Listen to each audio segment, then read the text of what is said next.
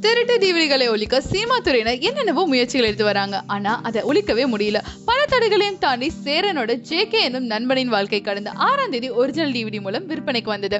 இந்த திட்டத்துக்கு நல்ல வரவேற்பு கிடைத்துள்ளதா சேரனே அறிவிச்சிருந்தாரு. ஆனா அதே சமயம் ஒரிஜினல் டிவிடிக்கு இணையா திருட்டு டிவிடி விற்பனையும் இன்னொரு புறம் நடந்து கொண்டிருக்கு. இந்த திருட்டு டிவிடி பற்றி அறிந்த இயக்குனர் சேரன் அறிவிப்பு ஒன்று வெளியிட்டிருக்காரு. இந்த படத்தோட டிவிடிகளை திருட்டுத்தனமா விற்பவங்களை கண்டுபிடிச்சு தகவல் கொடுப்போருக்கு ரூபாய் ஐம்பதாயிரம் பரிசு வழங்கப்படும்னு இன்றைய நாளிதழ் விருப்பங்கள்ல அறிவிப்பு வெளியாயிருக்கு.